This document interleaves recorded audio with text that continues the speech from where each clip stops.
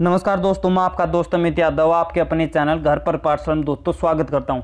दोस्तों, आप सभी को बताया कि इस कोरोना महामारी के कारण जो स्टूडेंट हैं, उन सभी का जो स्टडी है, पढ़ाई को काफ़ी इफ़ेक्ट किया है। नए वैकेंसी आ नहीं रही हैं, पुरानी वैकेंसियों के फॉर्म जो हैं भर रखे हैं, काफ़ी टाइम हो गया, लेकिन उनका एग्ज़ाम नहीं हो पा रहा किसी कारणवश से। लेकिन सबसे बड़ी खुशखबरी सीआरपीएफ की तरफ़ से आई थी कि जिसके अंदर 800 वैकेंसी पैरामेडिकल स्टाफ के अंदर निकली थी।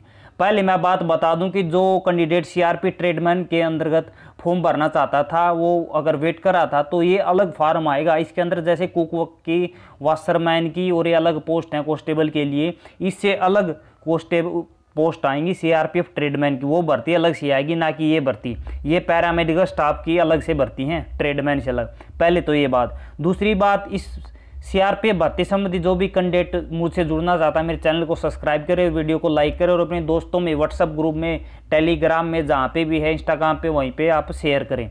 सबसे पहले बात आती है कि ये फॉर्म ऑफलाइन है या ऑनलाइन? तो इसके ऊपर मैंने पहले वीडियो बना दिया है, ये फॉर्म ऑफलाइन है आपका।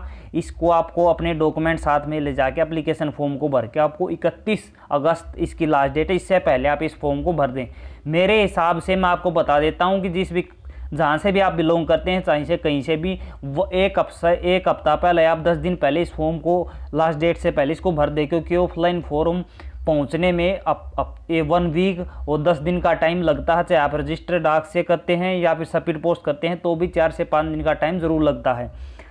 अब सबके मन में दिमाग आता है कि इसके अंदर एक्सपीरियंस चाहिए या नहीं चाहिए क्या कुछ रहेगा इसके बारे में। मैं बता दूँ कि वाटर कैरियर सफ़ाई कर्मचारी को छोड़कर सफ़ाई कर्मचारी को छोड़कर बाकी पोस्ट के अंदर कॉन्स्टेबल के लिए जो खासकर कॉन्स्टेबल पोस्ट के लिए हैं सफ़ाई कर्मचारी को छोड़कर सभी पोस्ट के अंदर एक्सपीरियंस मांग रखा है, उसमें एक्सपीरियंस ज़रूरी है।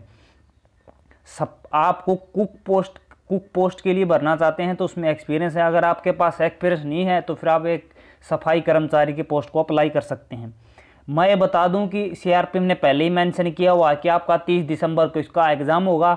एग्ज़ाम से पहले आपका फ़िज़िकल टेस्ट लिया जाए, यानी कि पीएसटी टेस्ट लिया जाएगा। मैं बता दूँ कि आपका फ़िज़िकल टेस्ट कहाँ पर होंगे और आपके एडमिट कार्ड कैसे आएँगे। आपके फ़िज़िकल टेस्ट इसके अंदर मैं बता दूँ कि नौ सेंटर दे रखे हैं। मैं उसकी पूरी लिस्ट आपको क्या है, इसकी पूरी लिस्ट आपको दिखा देता हूँ। ये देखिए आप स्क्रीन के ऊपर। एग्जामिनेशन सेंटर आपको नौ दे रखे हैं, यानी कि ये भर्ती पूरे ऑल इंडिया बेस के ऊपर मेरिट लगनी है इसकी। कोई स्टेट वाइज वैकेंसी इसके अंदर नहीं है। पूरे ऑल इंडिया में केवल ही नहीं नौ सेंटर के ऊपर ये भर्ती चलेगी और यहीं के ऊपर ही आपके पीएचडी वगैरह होंगे। तो जिन्होंने आपने एप्लीकेशन फॉर्म में दो सेंटर आपको चूज़ करने नज़दीक के दो सेंटर आपको कोई भी भर सकते हैं।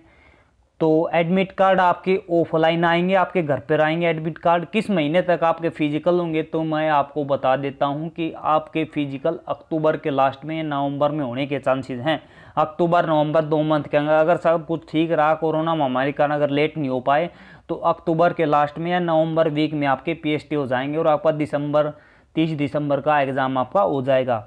तो आपके जो एडमिट कार्ड है, वो आपके साइट के ऊपर भी आ सकते हैं। नहीं तो आपके 90 परसेंट, सौ परसेंट चांसेज है कि आपके एडमिट कार्ड जो है, ऑफलाइन फॉर्म है, उनके एडमिट कार्ड आप बाई पोस्ट के द्वारा आपके पास आ जाएँगे। लेकिन आपने सी आई सब ट्रेडमैन भर्ती में देखा होगा कि ऑफलाइन फॉर्म था, लेकिन उसके एडमिट कार्ड जो है, ऑनलाइन माध्यम से भी आए थे। तो ये उनके ऊपर डिपेंड करता है कि वो डाटा उसको ऑनलाइन में कन्वर्ट करते हैं या फिर नहीं। लेकिन चांस तो आपके 90 परसेंट आपके जो है ऑफलाइन ही आपके एडमिट कार्ड ज़रूर घर पर आएँगे। कोई भी गलती ना करें, फार्म को अलग से देख लें।